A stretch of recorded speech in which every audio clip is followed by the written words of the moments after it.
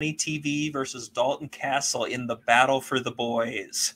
I'm gonna be very emotional. Okay.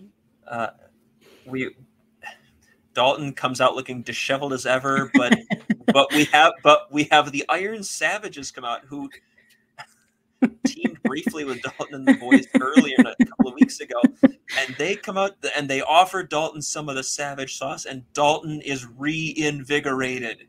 All right, Kyle. I gotta know what would be your Savage sauce that would reinvigorate you. Oh man. I I'm not sure that there isn't. I'm not sure that there's something with enough caffeine that could do that. is it legal? This, this, is this is about as this is about as excited as I ever get. oh my gosh. See, I'm over here thinking, okay, what would what would be a drink that would like wake me up, but also bring back the life back into me.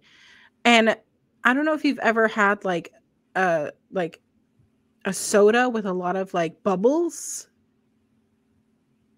that you drink yeah. it and it burns like that burning feeling.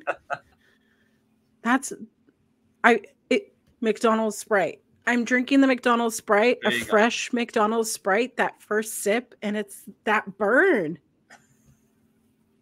bring that to me. Put some like hot sauce or something in it. Like I mean I mean I drank Surge back in the day, but like we had no business drinking that.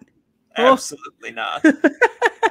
but but but we get the old Dalton but with the savage sauce running through his system, we get the old Dalton back and we get him yelling at the camera again.